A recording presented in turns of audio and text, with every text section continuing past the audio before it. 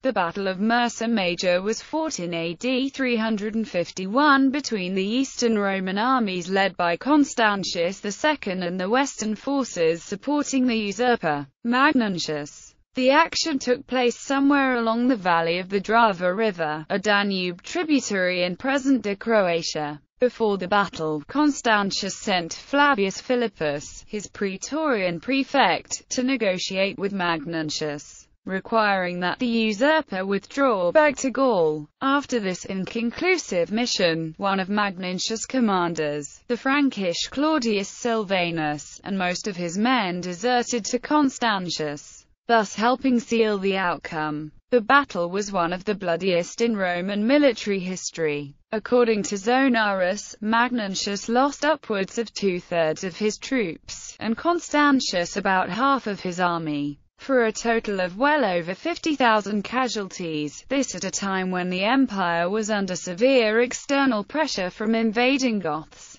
Alemanni and Persians, as well as internal dissensions and rebellions. There was also a religious meaning to the conflict. Magnentius had restored some rights to the pagans, while Constantius even left the battlefield to pray on the nearby tomb of a Christian martyr. The bishop of Mursa, Valens, told the pious emperor that an angel had reported to him the news of the victory, thus ending any chance of a pagan revival. Magnentius, who had lost in the battle his most loyal supporter Magister Officiorum Marcellinus, would suffer another, final defeat. Two years later at Mons Seleucus,